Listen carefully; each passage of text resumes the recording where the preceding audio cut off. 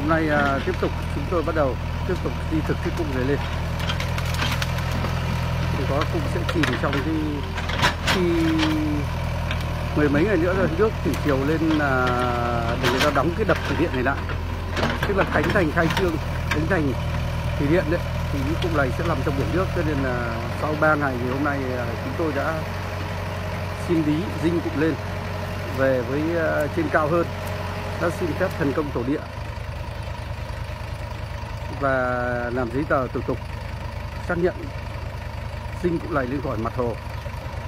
Thì à, cũng sẽ nằm trong cái vùng trọng điểm. À, trong cái lòng hồ này thì cũng sẽ nằm trong trọng điểm của cái vùng ngập lụt. Màn hồ thì 12 ngày nữa đóng đóng đập thủy điện rồi. Đây là một cụ sung là cái đường kính ngang gốc kia kìa. Chỗ cậu em cái đứng nó phải đường kính ờ, sát mặt đất thì nó phải cỡ hai mét ba. Ừ, cái tạm tính là 2 mét tính là 2 mét.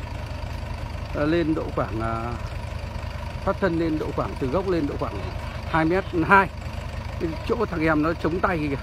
Thì đường kính đấy độ khoảng 1 mét. Sau đó là sẽ ưỡn cái hồi đầu lên kia.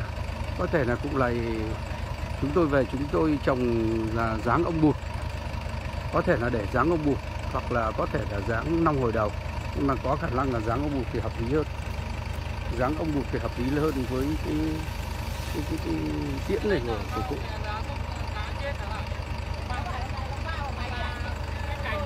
Đẹp chưa các vị kiếm được một cái hàng gốc to hơn 2 mét này mà nó tổng chiều cao nó khoảng 4 mét như này.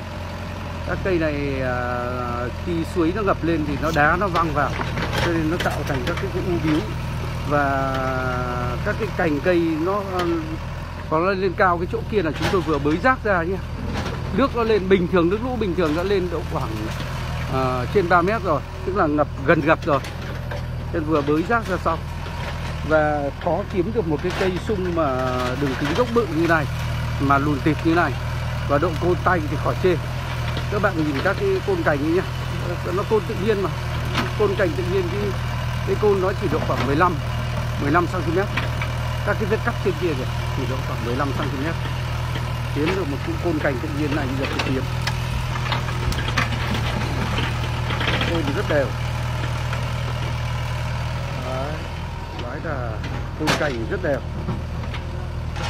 Và sai chi tiết đây.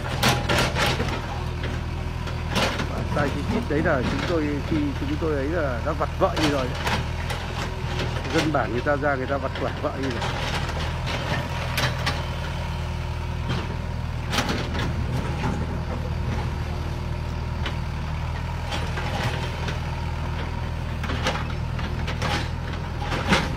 Gốc hoành tráng kia không? Nếu mà tính lên cái bệ gốc ngang với mặt đất kia thì chúng tôi phải lấy vào cỡ độ khoảng 3 mét.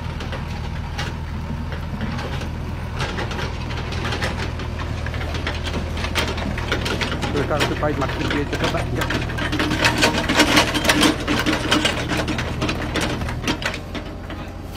Mặt.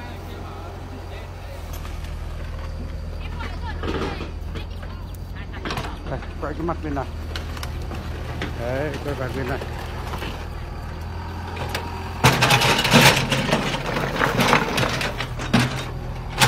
Cái mặt bên này các bạn nhìn dáng dáng ông bụt nó dễ hơn. Cái mặt bên này mình nhìn rõ dáng ông bụt đây, rõ dáng ông bụt mặt bên này thì nếu mà dựng theo dáng ông bụt thì đẹp hơn là à, ngả theo long hồi đầu.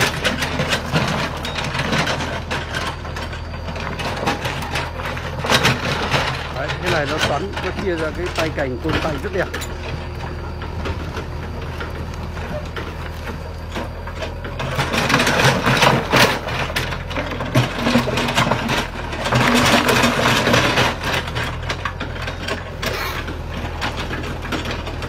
Thấy cái bệnh vè kìa.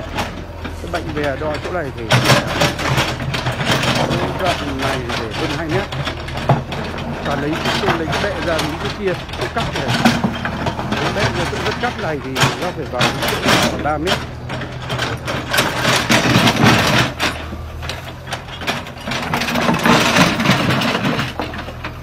Rễ nó gốc rễ thì chê.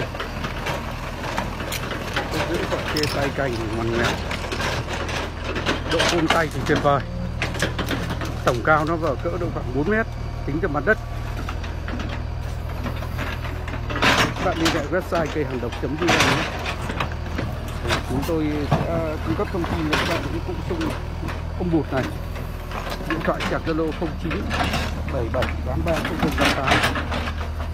0088 09 19 706 818 xin trân trọng cảm ơn các bạn đã theo dõi những cái tác phẩm cổ điển cây hàng độc vn. Xin hẹn gặp lại.